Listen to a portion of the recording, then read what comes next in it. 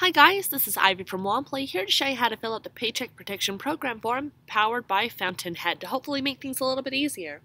In this particular video, our main focus is going to be on what it looks like to do a second draw Paycheck Protection Program loan application. Let's get started. When you first log into the application, you're going to be on a page that looks just like mine, where it's going to ask you to enter in your email address and press this button that says Get Started. After that, it's going to ask you to be able to enter in a one-time password that's been directly sent to your email, as shown. After you go ahead and enter in that code and press continue, you're going to end up on a page that looks just like this, where it says before you start, please select the option that applies to your business. Either you've already had a PPP loan or you've had no PPP loan.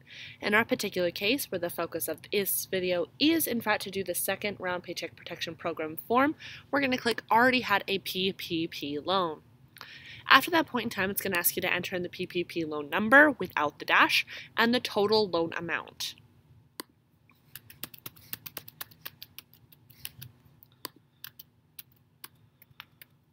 After you've entered that in, it's going to ask, did any affiliated business receive PPP, lo uh, PPP loans?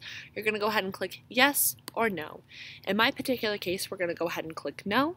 If you do have more than one affiliated loan, you're going to click add another affiliated loan, and then we're going to go right here to be able to press next. After you've gone ahead and entered in next, it's going to ask you for some basic loan eligibility questions. Let's go through them together. Starting at the top and working our way down. Was your business in operation on February 15th, 2020? Go ahead and click yes or no. In my case, that's a yes. Was your business in operation for all of 2019? You're going to click yes or no.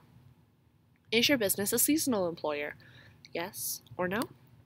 Does your business employ people outside of the owners? Yes or no. And then it's going to ask for how many total employees you have at the business. Go ahead and enter in that number to the best of your ability. Is your business a restaurant, hotel, or other business eligible for special consideration? Yes or no? Is your business a destination marketing organization? Yes or no? And is your business publicly traded? Yes or no? After you clicked all those bubbles, we're going to go ahead and click next. After that, it's going to say revenue reduction. All businesses that are looking for a second draw loan under the Paycheck Protection Program are required to certify that their business experienced a revenue reduction of 25% or greater in one or more quarters, entire year of 2020, relative to the same period in 2019 due to the coronavirus pandemic. Therefore, you must choose either annual or quarterly comparison. Please uh, select yes to base your comparison on annual or no to base your comparison on quarterly. So, do you want to use an annual comparison or do you want to use a monthly comparison? In my particular case, I'm going to go ahead and click monthly comparison because I, in fact, have the forms to be able to substantiate that. After that, what it's going to do is it's going to ask you for first quarter, second quarter, third quarter, fourth quarter, and to enter in the quarter or multiple quarters in which your business experienced at least a 25% loss in revenue. In my particular case, that was business quarter three. You do not need to fill out every single box, only the boxes that you experienced a um, reduction of at least 25%. In 2020, our third year quarter was 75,000 versus our 2019 third year quarter was 100,000. As you can see, that's over a 25% decrease. After you've entered this into the best of your ability, we're simply going to click the Next button. After that, it's going to ask us for our payroll details. It's going to have us enter the values based on the full time period of your choosing. We're going to select do you want to do 2019, 2020, or the last 12 months? In my case, we're going to go ahead and do this off of 2019 to make it really easy. Then it's going to ask us for our total payroll, inclu including employer compensation. In my case, we're going to go ahead and enter this in to the best of our ability. Then it's going to ask the total payroll amount entered already includes benefits and taxes. Yes or no? In my case, that's a yes. Next, this business is a farm or ranch according to the Economic Aid Act. If it is, go ahead and click it. If not, please leave it blank. After that, it's going to say enter employee details. The number of employees that you had in the business employed as of 215 of 2020. I had 250. Then it's going to ask you to click the following boxes. Did you or did you not have some of these employees located outside of the U.S.? If you did, click the button. Some of these employees are contractors and file a 1099. Click the button if yes. Some of these employees are paid more than $100,000 a year. If so, go ahead and click yes. After that, it's going to say enter your eligibility values. Based on the number that we entered in above, it divided that number by 12 by the total number of employees, and this is my total amount in which my um, loan is going to be applicable for. My average monthly payroll times 2.5. After you verified that this is in fact correct, go ahead and click the Next button. Then it's going to take you into business information. It's going to ask for a little bit more information. It says this SBA um, is required by the government for your Paycheck Protection Program application. It's based on this particular form. So it asks for the business's legal name.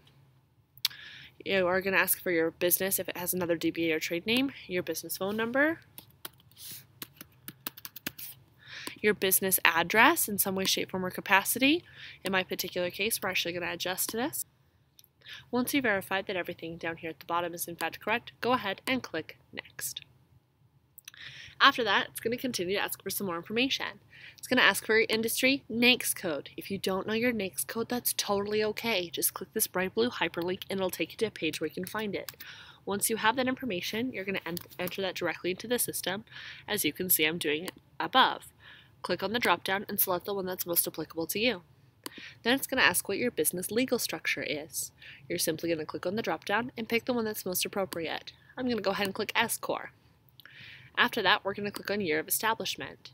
So in my particular case, we were established in 2012, and we were established February 1st, 2012.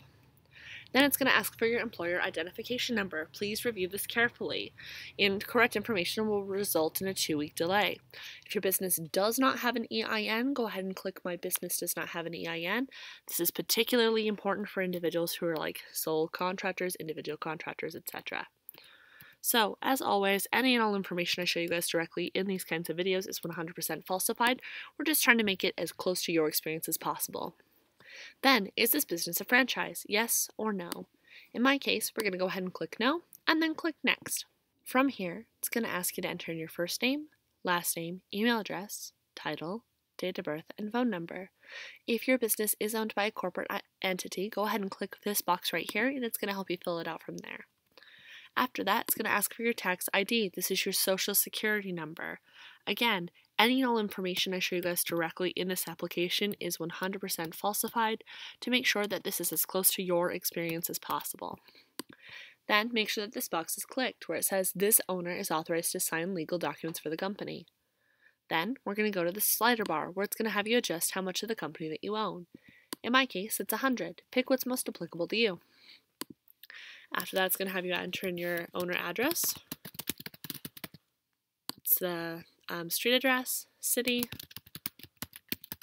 state, and zip code. And then, of course, if you want to use the same address that your business address is for your home address, you simply just click Use Business Address. After that, it has some voluntary self identification buttons. This is going to have you click your veteran status, your gender, your race, scroll down just a little bit to find it, and your ethnicity.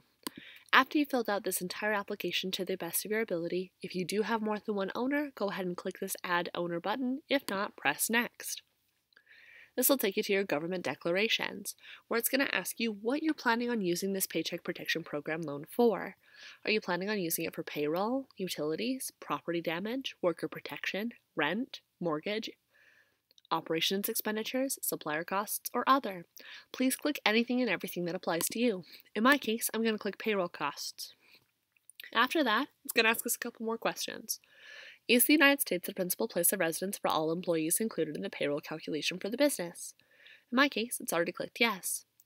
Do any of the owners of the business own any other business? Go ahead and click yes or no. In my case, it's a no. And is this business a franchise that's listed in the SBA's franchise directory? Again, in my case, no. Then press next. There's a couple more. Are any of the owners of the business debarred or excluded from this transaction by any federal department or presently involved in bankruptcy? I'm going to go ahead and click no. Has the owner of the business for this business or any other business they own taken a loan guaranteed by any federal agency that is currently delinquent or which has defaulted in the last seven years? Yes or no? Is the owner of the business subject to criminal charges or presently incarcerated or on probation or parole? my case, no, and make sure that you do your initials next to it to certify. After that, has any owner of the business been convicted of a felony involving a financial crime in the last five years, or been convicted of a felony or been placed on probation or parole within the last year? Again, in my case, no, and we're going to go ahead and initial to certify that, and press next. Then we have a whole bunch more things we're going to initial next to. We're making the following certifications. First, that the applicant was in operation on February 15th of 2020, has now permanently closed, and was either an, an eligible self-employed individual, independent contractor, sole proprietorship with no employees, or had employees for whom it paid salaries and payroll taxes for. Next, under the current economic uncertainty, it makes this loan request necessary to support the ongoing operations of the applicant. Next, the applicant has realized a reduction in gross receipts in excess of 25% relative to the uh, compensation time period. For loans greater than 150,000, the applicant has provided documentation to the lender substantiating the decline. Okay, again, we've initialed. The applicant has received a first draw Paycheck Protection Program loan and before the second draw Paycheck Protection Program loan is disbursed, will have used the full loan amount, including any increase of first draw Paycheck Protection Program loan only for eligible expenses. The funds will be used to retain workers and maintain payroll or make payments for mortgage interest, rent, utilities, covered operations expenditures, covered property damage costs, covered supplier costs, and covered worker protection expenditures. You understand that for loan forgiveness will be provided for the sum of documented payroll costs, covered mortgage interest payments, covered rent payments, covered utilities, covered operations expenditures, covered property damage costs, covered supplier costs, and covered worker protection expenditures, and not more than 40% of the foreign amount may be used for non-payroll costs. If required, the applicant will provide to the lender and or SBA documentation verifying the full number of full-time equivalent employees on the applicant's payroll. The applicant has not and will not receive another second draw Paycheck Protection Program loan. The applicant has not and will not receive a shuttered venue operator grant. The president, vice president, head of an executive department, member of Congress, or spouse of such person as determined under applicable common law does not directly or indirectly hold a, a controlling interest. Next, the applicant is not an issuer, the securities of which are listed on an exchange registered as the National Securities Exchange. The applicant is not a business concern or entity for which any entity created in or organized under the Republic Laws of China.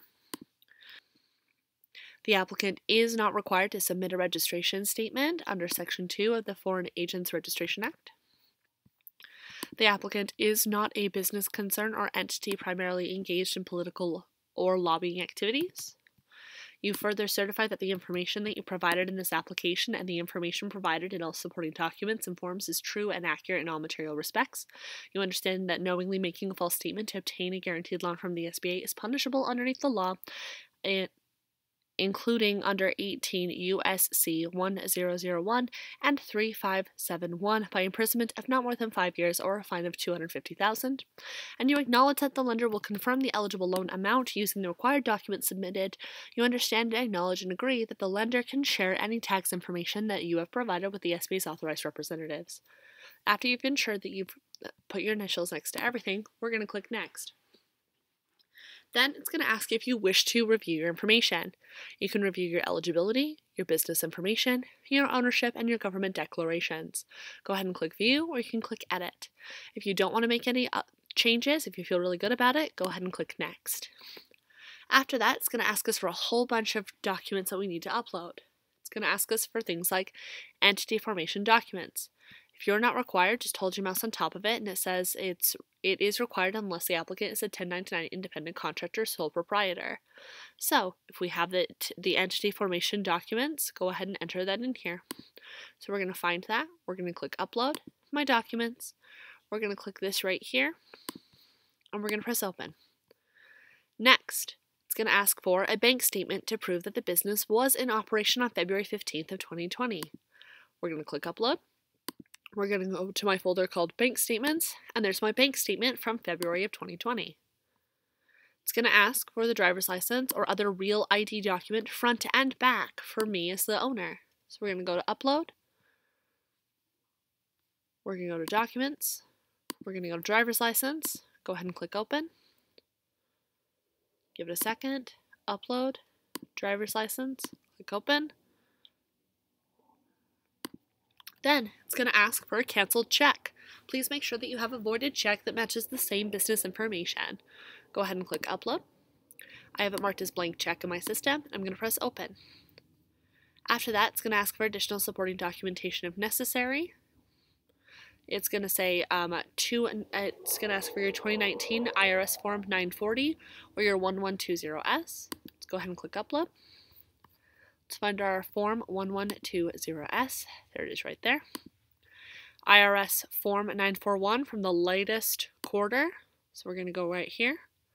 We're going to find our Q4 and we're going to press Open. It's going to ask for the 2019 business tax returns, and this is only for loans that are over 150K. In our case, that's not applicable. Quarterly financial statements. So again, we're going to go right here. We're going to go ahead and upload those directly into the statement. So there's one. Upload. Two. Upload. These are just your quarterly financial statements, whatever that means to you. Go ahead and upload those directly into the system. Three and four. And press open. Payroll summary support. Uh, next, we're going to go over the payroll summary report for the corresponding period, which reflects all employee wages and taxes withheld. We're going to go right here. We're going to go ahead and upload our, our form right there. Make sure we've got our payroll summary form. If the payroll eh, report is not available, these are copies of W-2s for all employees if applicable, and this will be your email wire information document. If you want to go ahead and get that, you can click right here to click download sample. It opens your page that looks just like this where it has all of your information. So your borrower name, your signer name, your form if applicable, all of this information to the best of your ability. This is going to ask for things like your bank address, your routing number, etc. If you have that and it's good to go, perfect. Just take a couple seconds and fill that out. I've already filled that out in the meantime, so I'm going to go right there. We're going to click that, and we're going to go ahead and press open.